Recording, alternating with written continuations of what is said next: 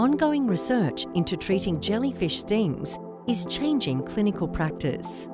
In Australia's tropical waters, the jellyfish season lasts eight months and stretches down the east coast of Fraser Island. Stings from the box and irukandji jellyfish cause severe pain and occasionally patients die.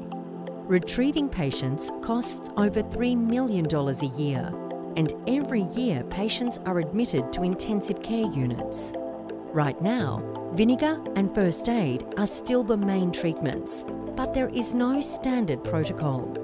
Recent research funded by the Emergency Medicine Foundation found applying vinegar released up to 60% more venom.